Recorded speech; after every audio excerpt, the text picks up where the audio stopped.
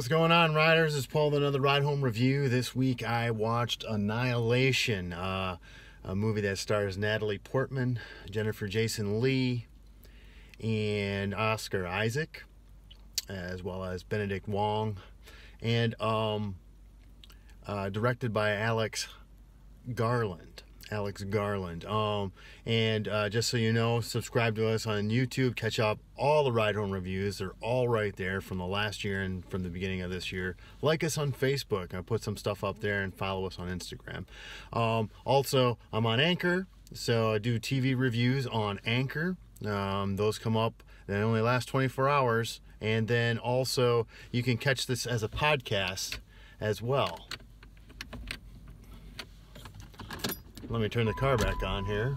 I don't think it is. It seems that uh, you need to have this running for this to go. Uh, anyhow, uh, Annihilation is uh, about um, a young biologist, uh, Natalie Portman, who has military uh, background. Uh, her husband comes back after a year missing, and things aren't right. So she goes and investigates why, and then gets wrapped up into a group to to investigate this uh, weird phenomenon called the shimmer.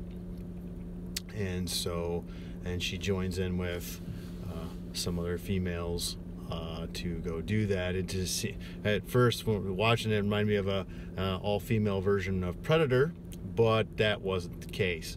Uh, it is an interesting movie, and so let's get right into what I liked, what I didn't like.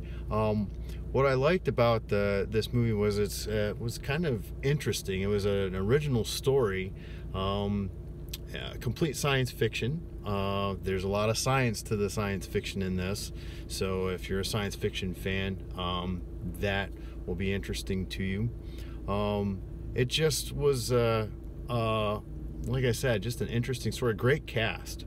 Uh, it was cast very well, uh, and um, and so there you really can't complain about that. Um, the story was good. The, the cast was good. Um, but there was some things about the story that I didn't care for. I'm not really a fan of this interrogation storytelling device. Um, uh, it's almost gotten to a point I said this when I reviewed Atomic Blonde. I didn't really care for that part of the movie and how they used it. I would have rather the story be told in a different way um, I didn't think that, uh, um, you know, the there was some there were some disjointed parts of the story uh, that just didn't mesh well with me. Um, it just some of the flashbacks were weird. Some, I mean, I know understand what they were trying to do, and if it was this motif of being broken and um, the people being broken I mean, I understand that. It was a little disjointed, a little, a little weird. Um, the character development was a little, little lacking, I thought, um, and some of the secondary characters. Uh, um, and you, you just really had this uh, weird feeling about the film in that regard. But um, interesting film, interesting movie. I liked how it ended.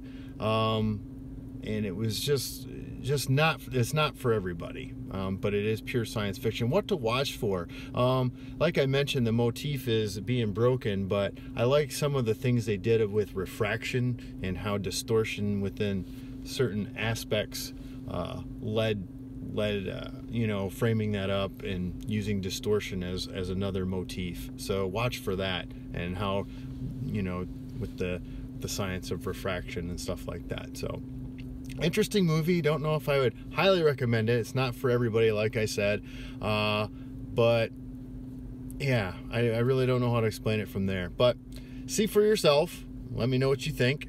Once again like i said subscribe to me on youtube uh, like me on facebook uh, follow on instagram all that stuff. And so next week I'm going to do a recap of the first couple months of the year. So no new movie, even though there's a couple interesting thing, movies that have come out or are coming out. But uh, I'm going to do uh, the first part of the year recap. So stay tuned for that and see what I liked, who I liked, and all that jazz. So until then, see something cool. Talk to you later.